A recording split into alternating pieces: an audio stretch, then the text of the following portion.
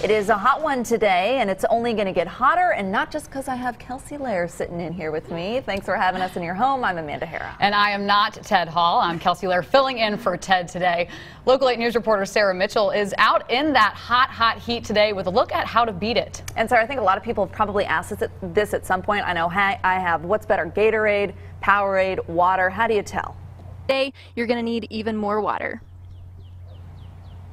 All right, how is it that she doesn't look like she's sweating at all? I was just thinking that. I think I need a fan to carry around with me at all times, like a mobile unit. I'm more of like a rag. I just need a rag to absorb it all. Just dab. yeah. All right, after today, I think we can finally say summer is definitely official. Yeah, meteorologist Heather Haley is in the Weather Center now with a first look at our forecast. All I gotta say is, ladies, I'm seven months pregnant. I know. You, you need to stay right here in the air-conditioned studio. Okay.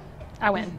Has in store for your weekend. Who knew that the dab could also be the dab with a towel for the sweat on your face. Mm -hmm. just making new dance moves over here. You Don't guys are us. just so creative. What would I do without you? I know. Heather, thanks. All right, not gonna lie. Ted and Lauren on the water. We'll see you then.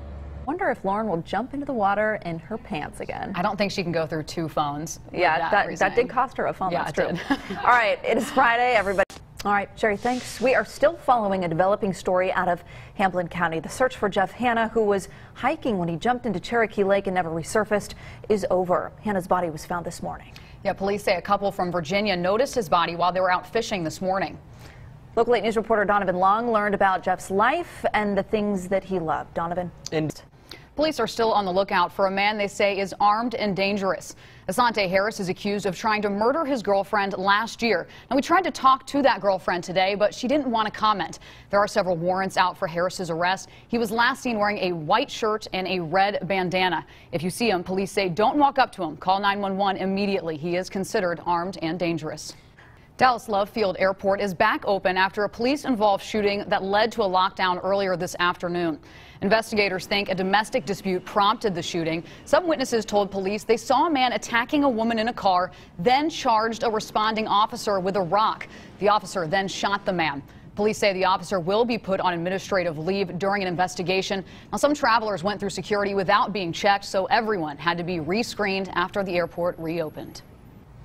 And Hillary Clinton and Donald Trump are both in Washington, D.C. today. Now, they're trying to rally their bases at two separate conferences. Now, Weijia Jiang is in Washington with the latest in the race for the White House. CBS News, Washington. Were you a supporter of Donald Trump's presidential campaign and still looking for Mr. or Mrs. Right? Yes. Well, Amanda is. You're in luck. This is TrumpSingles.org. Yes, it exists. The online dating service for those who hope Trump is the next president. Their slogan, well, what else? Make dating great again. Their goal, to bring together like-minded people who are just looking for the one. Very original idea. Why, why, didn't we think of this? I know, it's always stuff like that that you're like, right? Ugh. The most obvious thing. Exactly. the most obvious. Well, thousands turned out today to say their goodbyes to Muhammad Ali. They lined the streets of Louisville, Kentucky, starting early this morning. It really was a sight to see. It's a service that Ali himself planned years ago. We're going to talk about how he's being remembered as more than just a boxer. And in just about eight minutes, if you're heading to the Smokies game tonight, you may notice their uniforms look a little bit different. We'll tell you why coming up. Well, sad news today out of the hockey world. Mr. Hockey, Gordie Howe, has died at 88 years old. Howe is considered to be one of the greatest hockey players of all time. He was born in Canada and entered the NHL in 1946 at the young age of 18. Howe retired from the NHL in 1971, but returned for a little while in the 1979 to 80 season. That return made him the oldest player to ever play in the NHL. Always tracking, always alerting. Local 8 weather. All right, we didn't get picked to go to our town, but that's fine because we're having our own fun. Heather and I made a music video, and it's on Instagram. It's out of control. Just go to at a Hara. She's so proud. And watch your heart out. Let me just say mm. that Kelsey, you missed it. I literally yeah. walked into work, and Amanda was like, "I had the greatest idea ever." You know, she'd been plotting it since she oh, heard yeah. you were probably filming Right? it. Yeah. She was like, "What's happening?" Yeah. Because you're the only one that will play with me. By next weekend. All right, Heather. Thanks. Well, if you're going out to the Tennessee Smokies game tonight, you'll see them in a different uniform than usual. Yeah, they're going to be wearing pink jerseys in honor of breast cancer survivors. They're actually going to stop the game during the third inning to allow those survivors to get on the field and walk the bases. Money raised will support Susan G. Komen Knoxville. The organization keeps 75% of its funds locally for cancer screenings and to support people diagnosed with breast cancer. There will also be a pink jersey auction tonight. And on Monday, a big event is considered the biggest factor in developing skin cancer. But now some other factors could make those right rates rise in young people. We'll tell you how coming up. 8% survival rate. Muhammad Ali was laid to rest today, but there is a local boxing gym that is keeping his legacy alive, and you learn more about that today, Kelsey. Yeah, today I actually went by the gym and caught up with its owner and his daughter. to Find out how the greatest inspires them.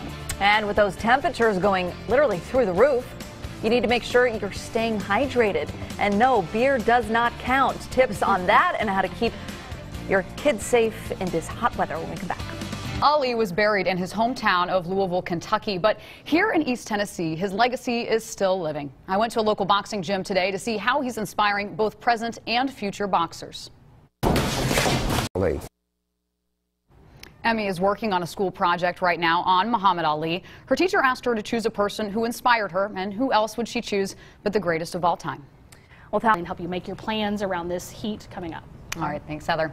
Well, school's out for the summer, and it may not officially be summer yet, but it certainly will feel like it this weekend. And many people be out and about, maybe the pool or the lake today. Now, what other ways can you keep your kids safe out of that sun? Local 8 News reporter Sarah Mitchell at the river now. Sarah, I bet you're pretty close to taking a dip. What other options do we have? It's a miracle if you don't lose everything in a natural disaster. And the last thing you want is someone coming in and taking your stuff. Up next, find out how cops caught up with a group of flood looters. And sausage or mushroom pasta sounds pretty good, but ice cream, not so much. But some love it. We'll show you a new trend in artisanal ice cream in about eight minutes.